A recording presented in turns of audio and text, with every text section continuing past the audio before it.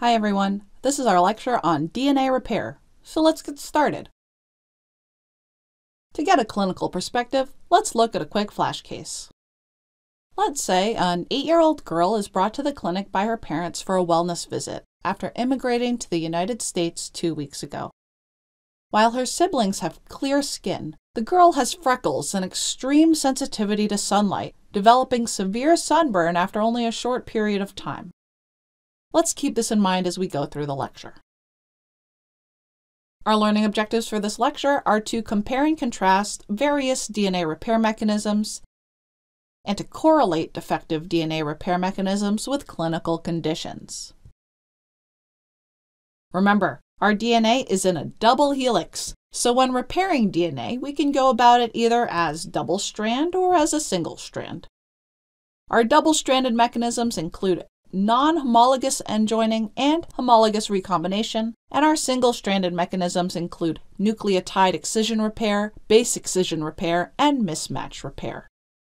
Let's start with our double-stranded DNA repair first and focus here on non-homologous end joining. Now, non-homologous end joining brings together two ends of DNA fragments to repair double-stranded breaks. So here, let's picture a double-stranded break. Non-homologous end joining will bring together the ends to repair it. Now, I didn't say it was exactly where it was supposed to go. I didn't even say it was the part that broke. It could have been some other double strand laying around. Because in non-homologous end joining, homology is not required. Some DNA may be lost in the process.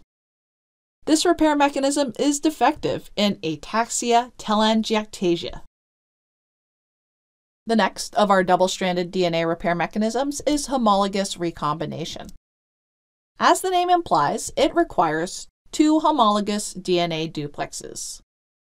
As you can see in this image, a strand from damaged double-stranded DNA is repaired using a complementary strand from intact homologous double-stranded DNA as a template.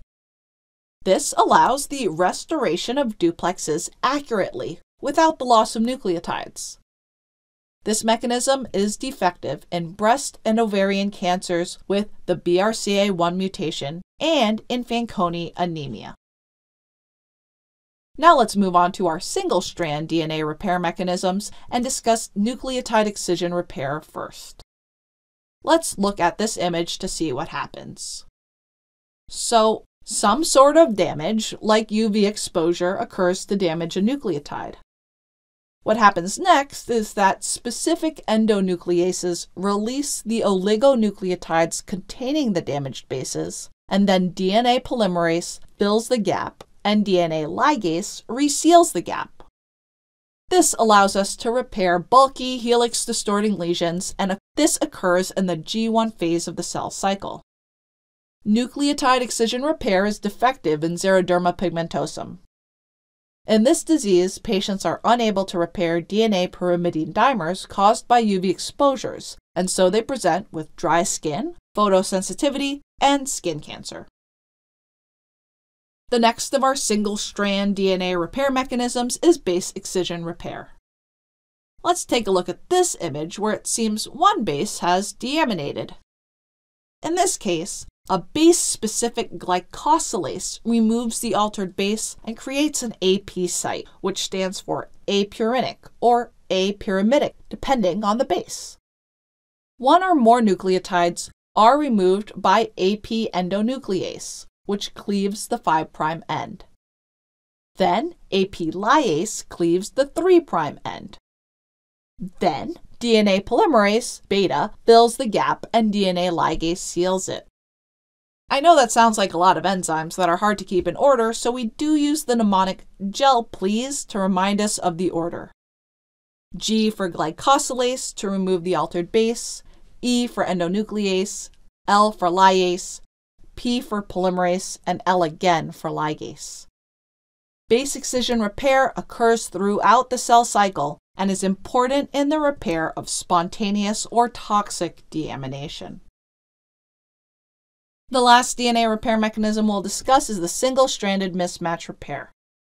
Like in our last examples, Let's take a look at this image to help guide our discussion, where it seems one set is mismatched.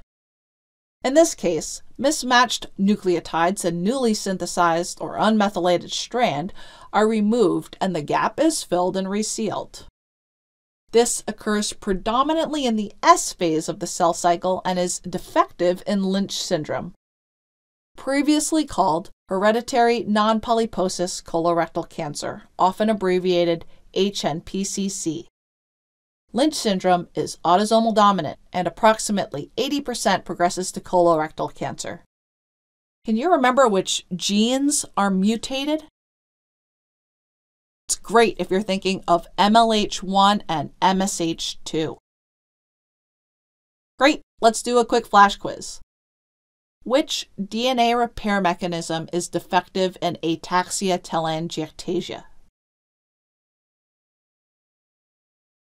Great if you thought of non-homologous end joining. It's important that you compare the defective DNA repair mechanisms with its affiliated clinical disease. Well, let's return to this case. She seems very photosensitive, even has areas of dry skin on her face. Now, a lot of things can cause photosensitivity, especially certain drugs, but we should also consider the possibility of defective DNA repair causing xeroderma pigmentosum, leaving this patient with the inability to repair DNA damage, like the damage that can be caused by UV light. Which specific repair mechanism is defective if this is the case? Yep, it would be nucleotide excision repair. As always, we need a more thorough clinical history and get more details, but this can certainly be a consideration. Well, we've made it to the end. What's the bottom line? Double stranded DNA repair mechanisms include non homologous end joining and homologous recombination. Single strand DNA repair mechanisms include nucleotide excision repair, base excision repair, and mismatch repair. And defective DNA repair can result in a number of clinical diseases. That's all I have for you here. Please give this video a thumbs up if you liked it, and it'll give you the opportunity to submit a comment if you have any feedback or questions. Thanks for joining me. Study hard.